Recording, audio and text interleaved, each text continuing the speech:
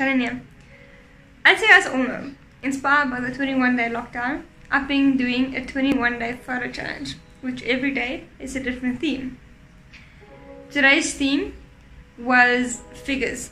It's today's sixth theme of the 21 day challenge. There was themes time, pets, coffee, selfie, masks, and then figures.